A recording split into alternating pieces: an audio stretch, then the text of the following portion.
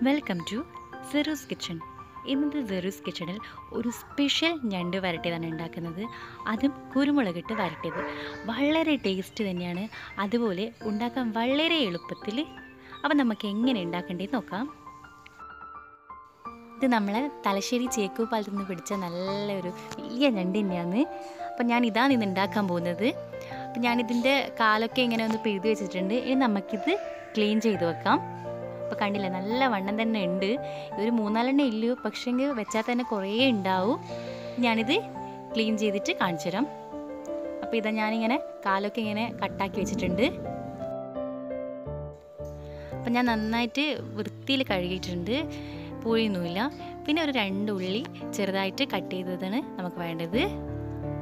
അതുപോലെ തന്നെ രണ്ട് തക്കാളി. പിന്നെ വേണ്ടത് ഒരു പച്ചമുളക് കറിവേപ്പില കുറച്ച് വെളുത്തുള്ളി ചതച്ചതും കുറച്ച് ഇഞ്ചി ചതച്ചതും. അപ്പോൾ ഇതുവരെ എന്റെ ചാനൽ സബ്സ്ക്രൈബ് ചെയ്യാത്തവർ ഒന്ന് സബ്സ്ക്രൈബ് ചെയ്യണേ. പിന്നെ ബെൽ ബട്ടണിൽ ഓളെന്ന ഓപ്ഷൻ ക്ലിക്ക് ചെയ്യാൻ മറക്കരുത്. ചട്ടി ഒന്ന് ചൂടായിട്ടുണ്ട്. ഞാൻ ഇതിലേക്ക് കുറച്ച് വെളിച്ചെണ്ണ വെച്ച് കൊടുക്കുകയാണ്. വെളിച്ചെണ്ണ വെച്ചാൽ നല്ലൊരു പ്രത്യേക ഫ്ലേവർ ഉണ്ടാവും. ഇനി ഇതിലേക്ക് നമുക്ക് ഉലുവ ചേർത്ത് കൊടുക്കാം. ഉലുവ നന്നായിട്ടൊന്ന് പൊട്ടി വരട്ടെ. ഇനി ഞാൻ ഇതിലേക്ക് ചേർക്കാൻ പോകുന്നത് ഉള്ളിയാണ്. അപ്പോൾ ഉള്ളി നന്നായിട്ടൊന്ന് വഴറ്റിയെടുക്കാം. അപ്പോൾ ഉള്ളി പെട്ടെന്ന് വാടി വരാൻ ഞാൻ കുറച്ച് ഉപ്പ് ചേർത്ത് കൊടുക്കുന്നുണ്ട്.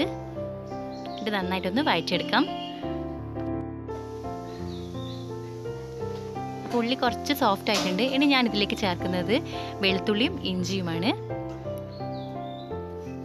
പിന്നെ പച്ചമുളക് ഞാൻ ചേർക്കുന്നുണ്ട്. അത് ഒന്ന് മാത്രം മതി. ഇനി നന്നായിട്ടൊന്ന് വഴറ്റിയെടുക്കാം. അത്യാവശ്യം നന്നായിട്ട് സോഫ്റ്റ് ആയിട്ട് വരണം. അപ്പോൾ ഇപ്പോൾ ഉള്ളി നന്നായിട്ട് സോഫ്റ്റ് ആയിട്ട് വന്നിട്ടുണ്ട്. കണ്ടില്ലേ? ഇനി ഞാനിതിലേക്ക് പൊടികളാണ് ചേർക്കുന്നത്. ഒരു അര ടീസ്പൂൺ മഞ്ഞൾപ്പൊടി ഒരു മൂന്ന് ടേബിൾ സ്പൂണോളം മല്ലിപ്പൊടി.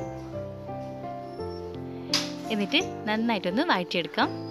അപ്പം നമ്മൾ തീ നന്നായിട്ട് കുറയ്ക്കാൻ ശ്രദ്ധിക്കണം. അല്ലെങ്കിൽ പെട്ടെന്ന് മസാല കരിഞ്ഞു പോകും അപ്പോൾ മസാലേന്റെ പച്ചമണമൊക്കെ ഒന്ന് പോകുന്നത് വരെ നന്നായിട്ടൊന്ന് വഴറ്റിയെടുക്കണം. അപ്പോൾ ഇപ്പോൾ നന്നായിട്ട് വാടിയിട്ടുണ്ടെങ്കിൽ ഞാനിതിലേക്ക് ചേർക്കുന്നത് തക്കാളിയാണ്. എന്നിട്ട് നന്നായിട്ടൊന്ന് മിക്സ് ചെയ്ത് കൊടുക്കാം. അപ്പോൾ തക്കാളി നന്നായിട്ട് അടിയണം? അപ്പോൾ ഇപ്പോൾ നന്നായിട്ട് അടിഞ്ഞ് വന്നിട്ടുണ്ട്. ഒന്ന് നന്നായിട്ട് നമ്മൾ മിക്സ് ചെയ്ത് കൊടുക്കാം നമുക്ക്. ഇനി നമ്മൾ ഇതിലേക്ക് ചേർക്കുന്നത് ഞണ്ടിന്റെ കഷ്ണങ്ങളാണ്. അത് നമുക്കിതിലേക്ക് ചേർത്ത് കൊടുക്കാം. എന്നിട്ട് നന്നായിട്ടൊന്ന് പെരട്ടിയെടുക്കാം. അപ്പം നാല് ഭാഗത്തും ഇതിങ്ങനെ പെരട്ടി വരണം. ഇപ്പം നന്നായിട്ട് പെരട്ടി എടുത്തിട്ടുണ്ട് കണ്ടില്ലേ? അപ്പം മഞ്ഞപ്പൊടി പൊടിയൊക്കെ കറക്റ്റ് തന്നെയാണ്. ഇനി ഞാൻ ഇതിലേക്ക് ചേർക്കുന്നത് കുറച്ച് പുളിവെള്ളമാണ്. ഇനി നമുക്ക് ആവശ്യമുള്ളത്ര വെള്ളം ചേർക്കാം. വെള്ളം കൂടിപ്പോകാൻ പാടില്ല. നമ്മളിത് വരട്ടിയെടുക്കുകയാണ് ചെയ്യുന്നത്. അതായത് കുറച്ച് വെള്ളം ചേർത്തിട്ട് പിന്നെ നമ്മൾ ചേർക്കുന്നത് കുരുമുളക് പൊടിയാണ്. അപ്പോൾ നമ്മൾ എരിവിന് വേണ്ടിയിട്ടാണ് കുരുമുളക് ചേർക്കുന്നത്. അപ്പോൾ അത്യാവശ്യം നന്നായിട്ട് ചേർക്കണം. പിന്നെ അതുപോലെ കറിവേപ്പിലയും കൂടി ചേർത്തിട്ട് നന്നായിട്ടൊന്ന് മിക്സ് ചെയ്ത് കൊടുക്കാം.